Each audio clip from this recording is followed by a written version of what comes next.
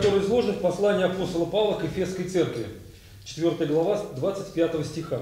У вас приводятся уже выводы из правил, а я буду читать из Священного Писания. Итак, первое правило, 25 стих. «И посему, отвергнувши ложь, говорите истину каждый ближнему своему, потому что мы члены друг другу». Вот в этом правиле заключено два основных очень важных момента. Во-первых, не лгать друг другу, но еще и правду говорить. Очень часто происходит, мы не лжем, но и правду не говорим. Ну, тот же самый характерный пример, который приводился с Авраамом. Привел он свою семью к фараону. Он соврал или нет, что это его сестра? Нет. Нет, он не соврал, но и правду не сказал. Все. И как, наверное, вот этот... Но он соврал, говорит, она мне не жена. Но он не говорил, что не жена. Он сказал, что он просто сестра. Он не сказал, что она жена. Да, он не сказал, он промолчал. То есть, и в любом случае, первое правило нарушено. И, наверное, вечером ходил под, под окнами этого дворца фараона и говорил, о, какой я замечательный муж, а? С кем сейчас у меня жена там спит? Ой, я молодец. Под фараона жену подложил. И Сара была, наверное, А счастлива. Сара была как счастлива. Под кого меня муж подложил? Не просто а под кого, а Да, не просто под кого попал на улице, под фараона. А фараон вообще при чем тут оказался? Что Бог даже у скотины закрыл чрево, никто не мог рожать. Потому что почему-то очень часто многие думают, что это было там, ну, одну-две ночи. А если это был достаточно долгий период, Это же надо все было люди заметить. увидели, что никто не беременеет, будем так говорить. Ни скотина не несет плода, ни женщина. Никто не может. Никто. То есть это был достаточно долгий промежуток Может быть, времени. даже год это проходило. Сколько она там жила в дворце? Представляете? И в какую ситуацию риска вообще Авраам поместил даже Божье обетование. Многие это расценивают как, это знаете, какая у него была вера. Мы считаем, вера тут вообще ни при чем. Это ну хорошо, Господь вмешался в это, да? Он, он верен своему слову. А Авраам как раз Там, наоборот, страх и недоверие. страх и недоверие, конечно, Конечно. понимаете? Итак, отвергните ложь и говорите истину. Второе правило, 26 стих. Гневаясь, не согрешайте. И Бог здесь специально уделяет внимание вот именно э, этой эмоции, потому что единственная эмоция человеческая, которой мы причиняем боль. В принципе, гнев это нормальная эмоция. Бог тоже гневался. То есть естественные. Естественная эмоция. Э, Единственное вот отличие, что Бог в гневе нас любит. А мы когда гневаемся друг на друга? Мы применяем смертельное Вот оружие. Куда только любовь уходит, да, что только мы можем другу в гневе не говорить. Потом стыдно. Но не в состоянии как-то вот человек одновременно в гневе и вот... Что с тебя взять? У тебя мать в психушке А ты сидела. вообще молчи, отец алкоголик, все мозги пропил, у тебя не меньше, чем у сушеной рыбы, да? Ну, то есть вот эти вещи, они, они как-то сразу вот слетают с языка. И это смертельное оружие. Ведь если в радости человек слишком сильно радуется, ну ходит, всех целует, обнимает, никому вреда не причиняет, правда? Ну, А вот, а вот в гневе, а в гневе действительно можно натворить много-много дел. Третье правило. Солнце да не зайдет во гневе вашем. Решайте конфликты как можно быстрее. Сегодня же. Лучше, может быть, даже спать не ложиться. Знаете почему? Потому что 27 стих говорит, «Ибо не давайте место дьяволу». Кто начинает ночью работать в сердце, если конфликт не решен? Сатана. Был маленький конфликт, какая-то маленькая проблема, которую можно было обговорить 5-10 минут, но мы ее не обговорили, не решили эту проблему, легли спать, и сатана начинает. А вот есть какая она, а? Вот ты с ней говорил об этом, она нарочно так поступает. Ты ее простил позавчера, она опять то же самое делает. Она это на зло. И не друг он вовсе, а враг самый натуральный. Причем не просто враг, а вражина целая, да? И вот, и вот то, что можно было бы обговорить за 10 минут, представляете? Это К утру? к утру превращается Или наоборот, был вот такой конфликт, который нужно было решить. Обязательно, потому что это очень серьезная проблема в отношениях мужа и жены. А вот не, не решили, легли спать, и стана начинает. Слушай, а из-за чего поссорились-то? Вот из-за этой ерунды? Слушай, Да ну вы муж и жена, ну вы любили друг друга, куда это всё у вас Слушай, утром встань и скажи, ладно, все, забыли, прости, забыли, все, все. А конфликт не решен. И потом в подобной ситуации возникнет вот эта вот глыба, которую вы не обговорили, в двойном размере. Ухнет сверху. Ухнется. То есть не нужно, ни в коем случае не допускайте отсрочивания решения конфликта. 15 страница, 14, 4, э, четвертое правило, это 29, с- 28 стих. Кто крал, впредь не кради, а лучше трудись, делай своими руками полезное, чтобы было из чего уделять нуждающемуся. И Павел здесь пишет не только, что если ты раньше плохо поступал, теперь больше так не делай. Он идет дальше. теперь еще и полезное делай, доброе. То есть, если ты подходишь к решению какого-то конфликта и понимаешь, его надо решить, и это нужно сделать сейчас, не просто обвиняй, говори, больше так давай делать не будем, а что мы будем дальше делать? Предлагай конструктивное решение. Давай договоримся в следующий раз, вот так-то и так-то поступать, то-то и то-то делать. Но кто как не жена знает, что сработает относительно мужа, что как, кто как не муж знает, что может сработать относительно жены. То есть э, обязательно думайте, какое конструктивное решение можете принять в той или иной ситуации.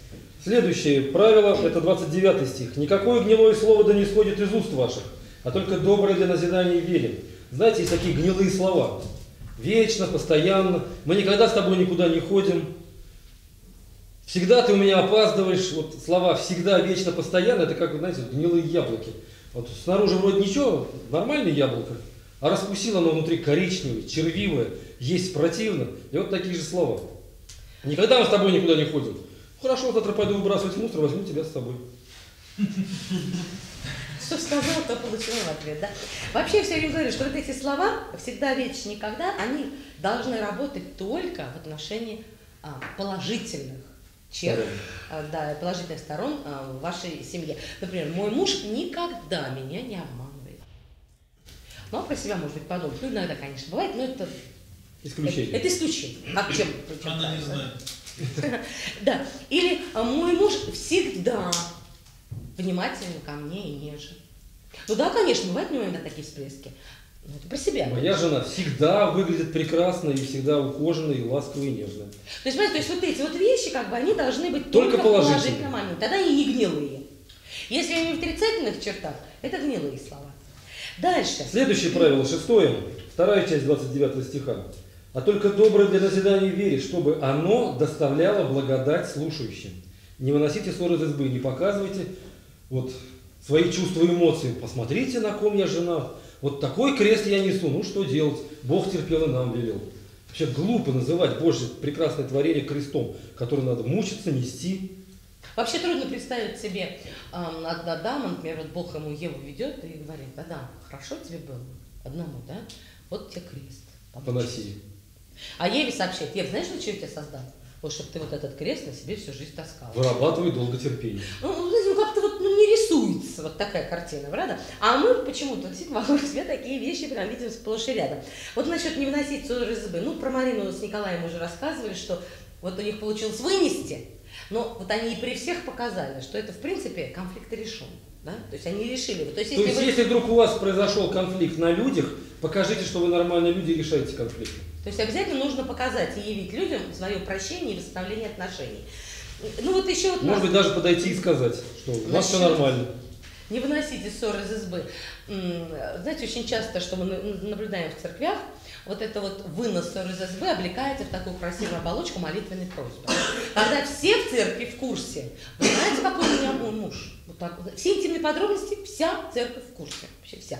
Ну вот скажем, Но даже- вот эти сплетни облекаются в такую оболочку. Я знаю, Молитесь за него. Да, да. давайте молиться за него. я знаю, сила молитвы большая. Вот помолитесь всей церковью. Нет, нужно молиться за человека, за семью. Но, во-первых, это должен быть э, Определенный круг людей. знать все детали должен определенный круг людей. Может быть, причем, и не нужно знать все причем детали. и, и не все детали он должен знать, потому что есть интимные подробности, которые касаются только двоих. Если вы выносите на большое, э, скажем, на церковное собрание, тем более деталей быть не должно. То есть, знаете, мы каждый раз так говорим, прежде чем вы вносите молитвенную просьбу на всеобщее там обозрение, представьте себе, что сейчас вот ваш супруг, о котором вы просите молиться, слышит, что вы про него говорите. Ему это понравится или нет? Как бы он это услышал? Если он услышит как вашу заботу о нем и любовь, да?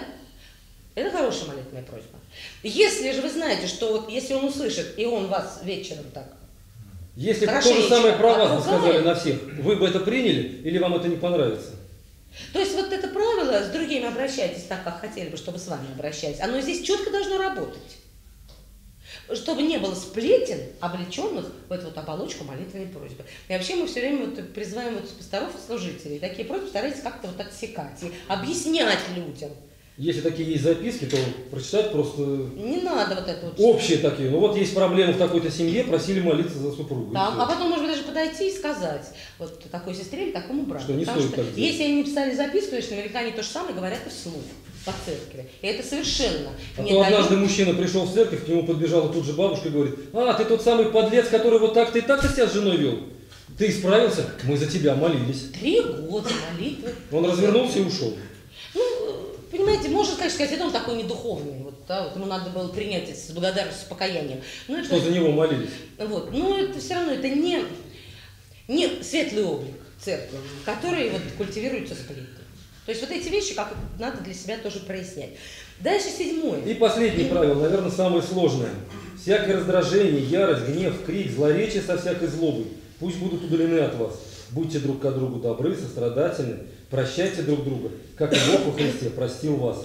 И ну вот на- это вот самое сложное правило, наверное, седьмое, и мы его вынесли специально в отдельную лекцию, и когда мы проводим семинар, это у нас отдельная лекция. И она называется «Прощение». На следующей Вот странице, на следующей 17. странице откройте ее, пожалуйста. Большое дело начинается с малого пожертвования, и пятью хлебами можно накормить пять тысяч человек. Поддержите наш проект молитвой и финансами. О чем молиться и как пожертвовать вы можете узнать на сайте www.tvseminary.com.